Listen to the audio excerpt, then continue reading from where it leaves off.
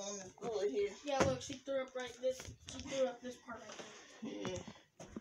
Don't let it hit that light because it's gonna Just bust sleep it. on my bed.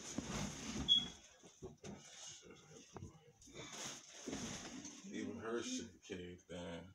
Look, that mm-hmm. whole thing broke. How you gonna Yeah, fix that what back together? You gotta call this company like I want my money back.